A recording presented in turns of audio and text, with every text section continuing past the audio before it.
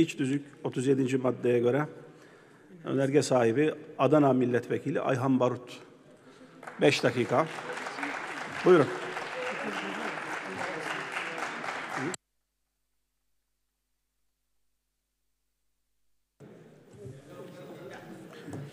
Sayın Başkan, değerli milletvekilleri, hepinizi saygıyla selamlarken geçtiğimiz pazar günü Ankara'da yüz binlerin üzerinde toplanan ve burada temsilcileri bulunan EYT'lileri de saygıyla, sevgiyle selamlıyorum. Emeklilikte yaşa takılanlarla ilgili bu kanun teklifini vermemizin amacı 8 Eylül 1999 tarihinde çıkarılan yasayla SSK, Bağkur, emekli sandığı mensubu olarak çalışanlar büyük bir mağduriyet yaşamaktadırlar.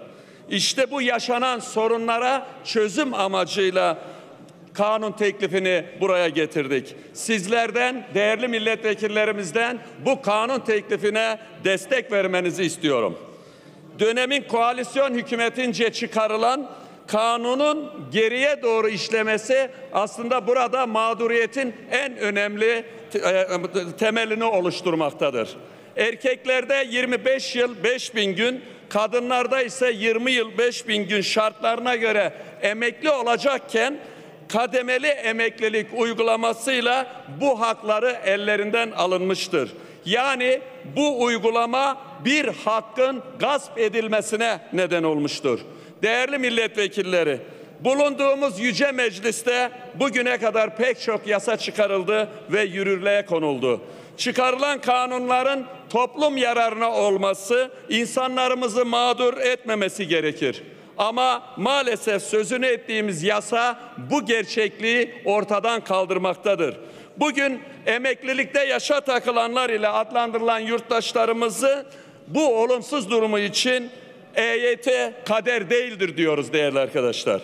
Bir insanın herhangi bir coğrafyada dünyaya gelmesi, belli bir tarih, sosyoloji ve kültür arasında yaşaması kader olabilir. Ancak o toplum düzeninde var olan hakkının elinden alınması ve gasp edilmesi asla kader değildir. Bu olsa olsa kadersizlik olur. Adını doğru koymak gerekirse tam anlamıyla mağduriyetin adı mahkumiyettir. Neden mahkumiyettir biliyor musunuz arkadaşlar? Çünkü EYT'lileri devlet gençsin diye emekli etmiyor, özel sektör yaşlısın diye iş vermiyor. EYT'lilerin gelirleri yok, düzenli bir işleri yok. Çarşıya pazara çıkamazlar, alışveriş yapamazlar. Akraba, komşu, hısım akraba düğünlerine gidemezler. Gittiklerinde de küçük de olsa bir hediye sunamazlar. Hasta olsalar doktora gidemezler, eczaneye gitseler ilaç parasını ödeyemezler. Çocuklarına yuva kurmak için ve evlendirmek için kara kara düşünürler. Evlerinin elektrik ve su parasını ödeyemezler. İşte bu nedenlerle aslına bakacak olursanız mahkumiyet yaşamaktadırlar. Değerli milletvekilleri, AKP ve MHP yöneticilerin de söylediği gibi eğer memleket güllük gülistanlık ise insanlarımız neden mutsuz ve huzursuzdur? Madem Türkiye gelişip büyüyorsa, ekonomi iyiye gidiyorsa, EFT, EYT'lilerin e, feryadına neden duyarsız kalıyoruz? Hiç mi vicdanınız sızlamıyor?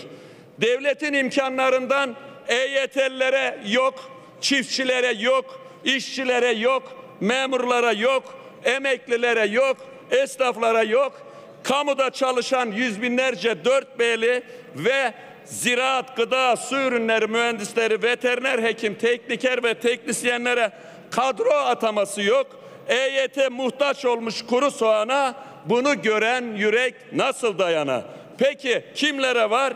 Bir avuç yandaş ve rantiyecilere var. Allah aşkına EYT sorununu çözemeyeceksek biz burada hangi sorunu çözeceğiz?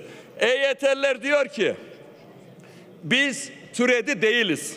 Biz fırsatçı, çift dikişçi, maliyet, köpük, yük hiç değiliz. Biz yıllarca namusuyla, şerefiyle, alnımızın teriyle, emeğimizle çalışan, boş iş yapmayan kişileriz diyor. Bizler herhangi bir siyasi oluşumdan değiliz diyorlar. Ne istiyorlar değerli milletvekillerim? Bunlar emeklilik şartı için gerekli olan prim ve gün sayısını yerine getirdik. Kimseden sadaka istemiyoruz. Ödediğimiz primlerin karşılığını istiyoruz diyorlar. Yasa gereği geriye doğru değil, ileri doğru uygulanmalıdır diyorlar. Çıkışın çıkış tarihinden sonra uygulansın istiyorlar. Boş işlerle uğraşmadık. Tamamlayalım lütfen. Laf kalabalığı yapmadık, hakkımızı istiyoruz. Bu bir hak arayışıdır diyorlar. Çıkacak kanun yarım yamalak çıkmamalıdır. Geneli kapsayan bir düzenleme istiyoruz diyorlar. Biz erken emeklilik değil, alınan hakkın geri verilmesini istiyoruz diyorlar. Ve Edirne'den Kars'a, Jüpiter'den Mars'a yeter artık çıksın bu yasa diyorlar. Değerli milletvekilleri, bu insanlar yabancı ülkenin insanları değildir. Bizim vatandaşımızdır. Seçim beyannamelerinde söz verip inkar etseniz de bu sorun ortadan kalkmadan geri adım atmayacağız. Mücadelemizden vazgeçmeyeceğiz. Yüz binlerce insanların feryadını duymazdan gelmeyin artık.